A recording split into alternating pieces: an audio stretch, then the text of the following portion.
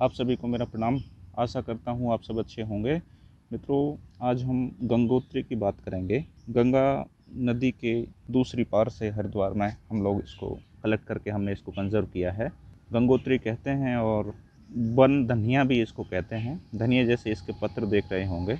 साइथोक्लाइन purpurea Asteraceae family का plant है। कई सारे औषधीय गुणों के लिए उपयोग में हम लाते हैं, मित्रों। साधारण रूप से गंगा जी की वेटलैंड एरिया में हरिद्वार से लेके और हाई एल्टीट्यूड तक देखने को मिलता है। इसके आप इन्फ्लोरेसेंस भी देख पा रहे होंगे मित्रों। इसको हम इस प्रकार से उपयोग में ला सकते हैं। इससे निकलने वाले एरोमेटिक ऑयल का उपयोग हम स्किन की प्रॉब्लम्स को ठीक करने के लिए करते हैं।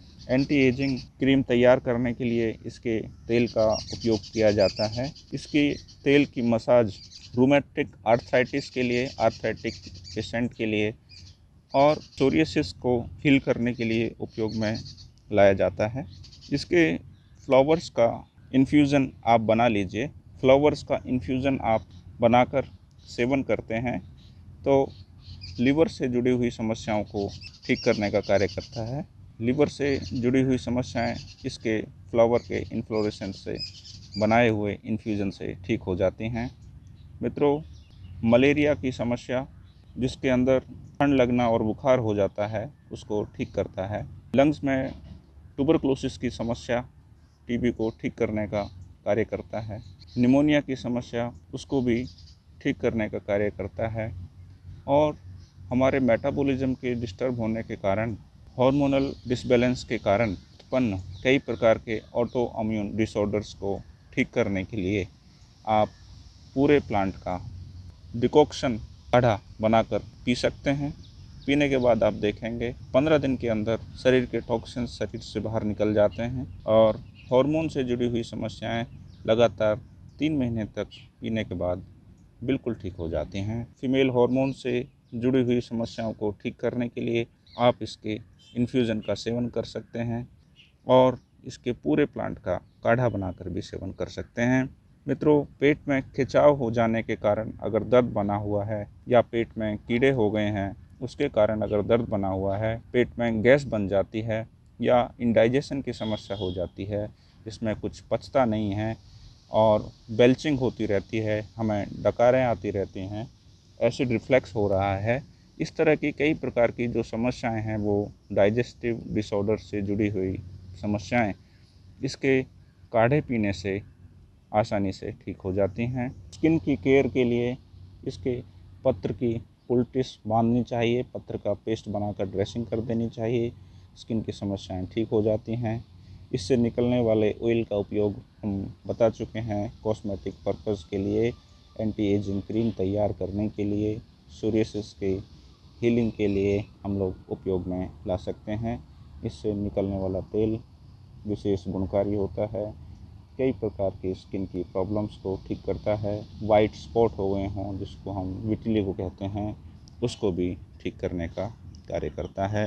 अगर कहीं घाव आपको हो गया है, कट लग गया है, मोच हो गई है, सूजन हो गया है इन्फ्लामेशन हो गया है कार्टलेज ब्रेक हो गया है बोन फ्रैक्चर हो गया है, ऐसी भी अगर समस्याएँ हैं तो इसके पूरे पत्र आप देख रहे हैं, पत्र और इन्फ्लोरेसेंस का पेस्ट बनाकर आप ड्रेसिंग कीजिए।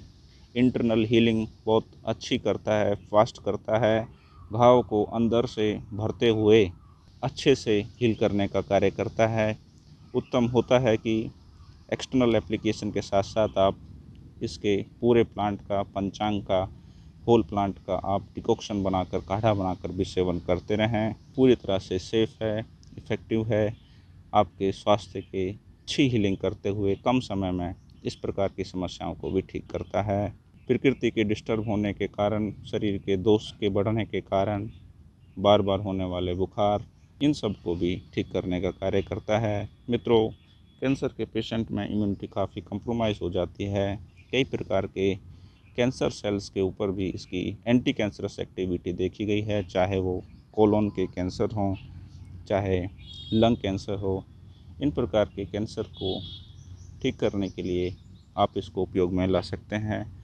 ट्रेडिशनल मेडिसिन है और समय के साथ साथ उपयोग ना होने के कारण या जानकारी के अभाव में हम लोग औषधियों को अच्छे तरह से उपयोग नहीं कर पाते हैं, उनके गुणों के बारे में जान नहीं पाते हैं और अनभिज्ञता के कारण हम उनके थेरापेटिक बेनिफिट्स भी नहीं ले पाते हैं।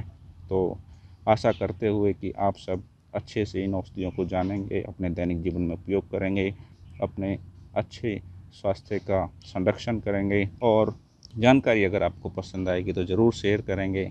अगर आप चैनल पर नए हैं तो सब्सक्राइब कर लीजिए ताकि नित्य सुबह साढ़े छः बजे आने वाले प्लांट की जानकारी आपको मिलती रहे और आप अपने स्वास्थ्य का संरक्षण करते रहें। इन्हीं मंगल कामनाओं के साथ आप सभी का धन्यवाद, प्रणाम, नमस्कार।